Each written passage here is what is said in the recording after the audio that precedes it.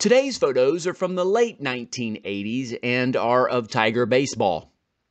Clemson produced some excellent baseball players in the mid and late 1980s, including Brian Barnes, Jerry Brooks, Brian Kowitz, Mike Milchin, and Bill Spiers. Clemson advanced to the NCAA regionals from 1987 to 1989, including an ACC championship in 1989.